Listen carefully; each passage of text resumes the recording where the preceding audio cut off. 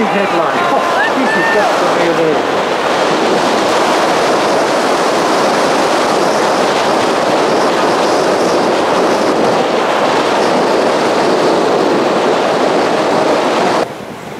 Yep.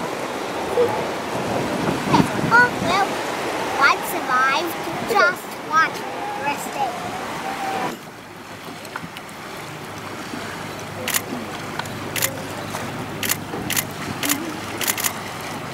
Belly side up.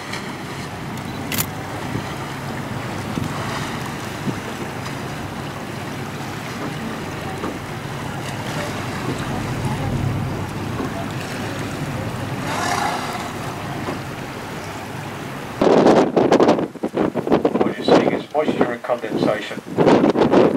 When they breathe in, the air gets compressed in those big lungs, and compressed air gets very hot. When they breathe out, the very hot air suddenly mixes with the much cooler air of the atmosphere, and that in turn creates that heavy misty cloud that you just saw there.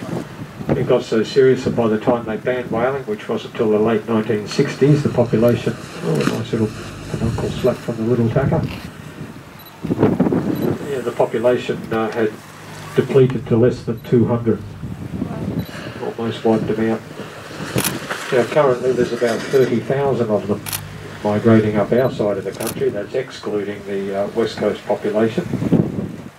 And the population increases by about 10% per annum with the birth of these calves.